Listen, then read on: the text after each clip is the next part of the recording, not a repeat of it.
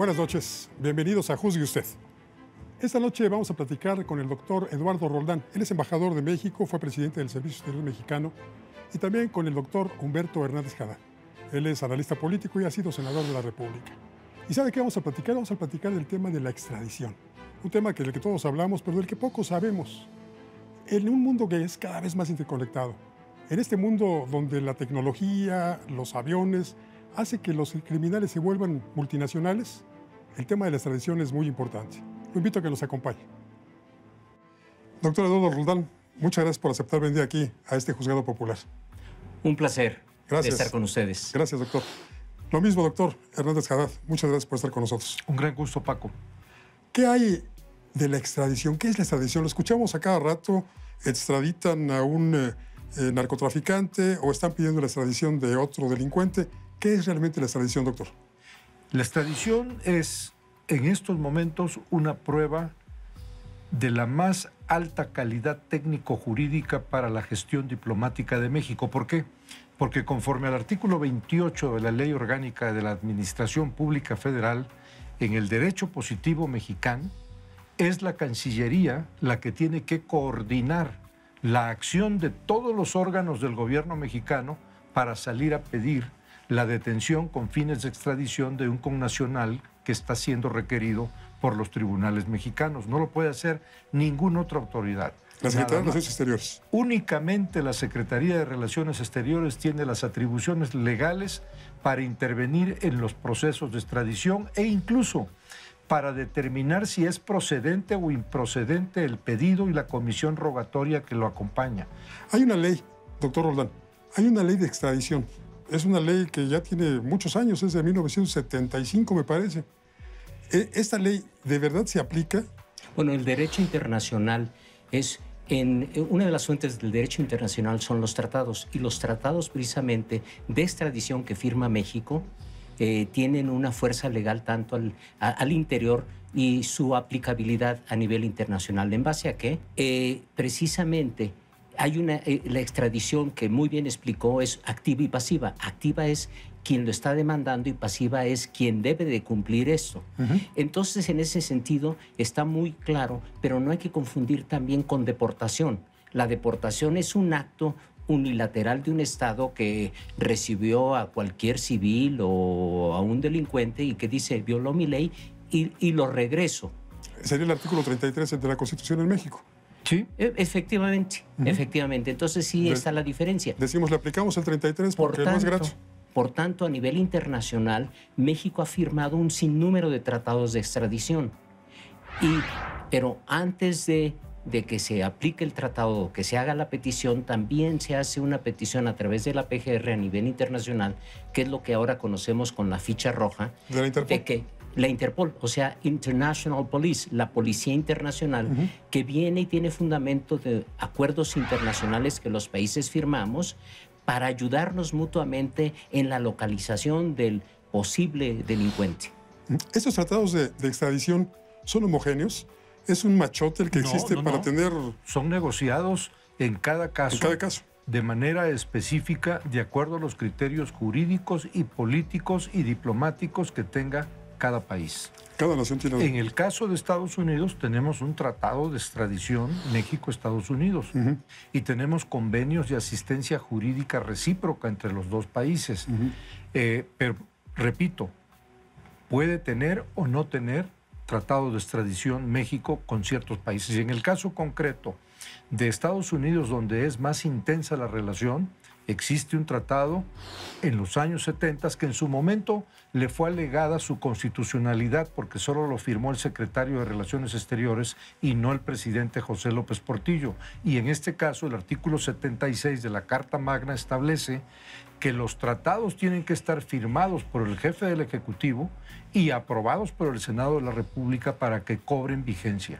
El, sujeto de la extradición, aquel que se pide si ha llevado a su país de origen o a aquel país en donde cometió presumiblemente un delito, ¿tiene derechos?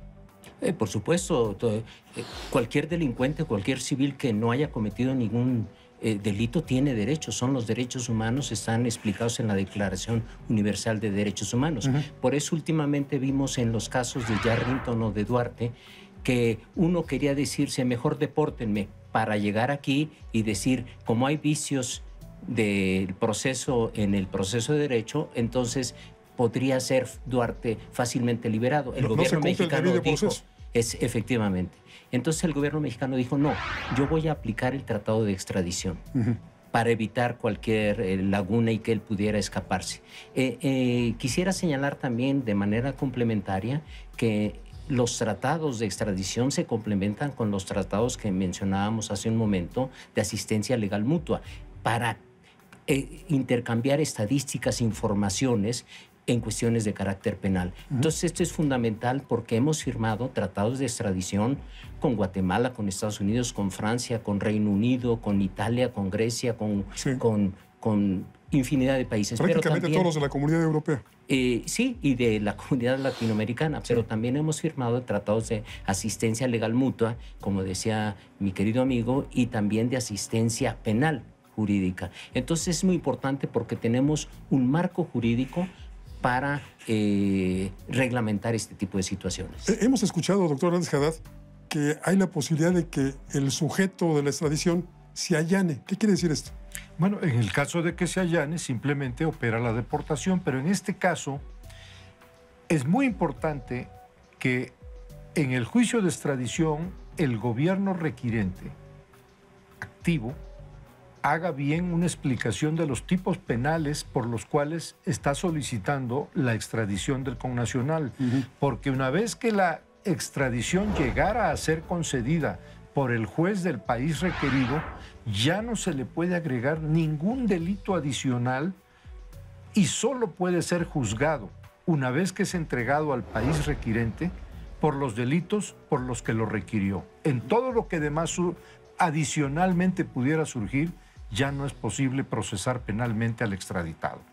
Y, una cuestión muy importante en esto, eh, para complementar esa información, es fundamental entender que, por ejemplo, si en México no existe la pena de muerte, no se le puede juzgar al país donde se va a extraditar con la pena de muerte. Claro. Ese es un requisito fundamental. Tiene que ser eh, legislaciones homólogas. Efectivamente, pero también algo muy importante es entender que si uno va a extraditar a Estados Unidos o a Guatemala o cualquier país a algún delincuente, se le juzga ya por lo que nos están pidiendo la extradición. Pero si también tiene delitos diferentes a los de la extradición, se le puede juzgar. Nos lo regresan una vez cumplida su sentencia en cualquier país y se le regresa, pero no se le puede juzgar por los mismos delitos, sino por otros delitos. Es una garantía constitucional. Efectivamente. Nadie puede ser juzgado dos veces por el mismo delito. ¿Y, qué pasa, eh, embajador, señor cónsul Hernández Haddad? ¿Qué pasa con el caso, por ejemplo, lo acabamos de ver de Tomás Yarrington, en el cual dos países distintos, Estados Unidos y México, estaban solicitando la extradición?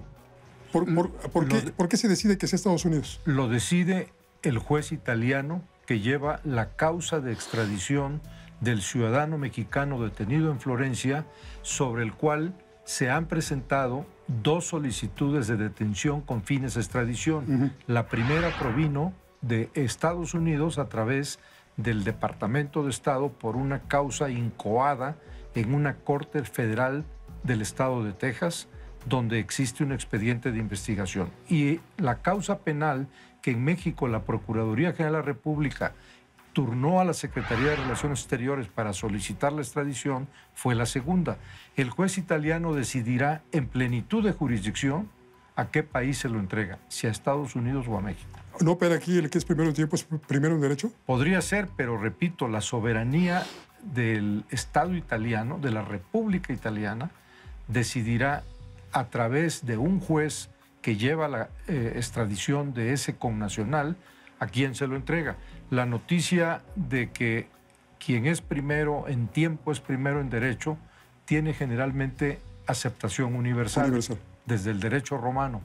Hace un rato escuchábamos aquí que no se puede extraditar a alguien bajo una ley distinta que no esté homologada a la del país en donde está requiriéndose. Tiene que pero, pero, el caso del Chapo Guzmán, por ejemplo, durante mucho tiempo se habló de que Estados Unidos lo requería, alguno de los estados, me parece que Texas, lo requería, y en Texas existe la pena de muerte.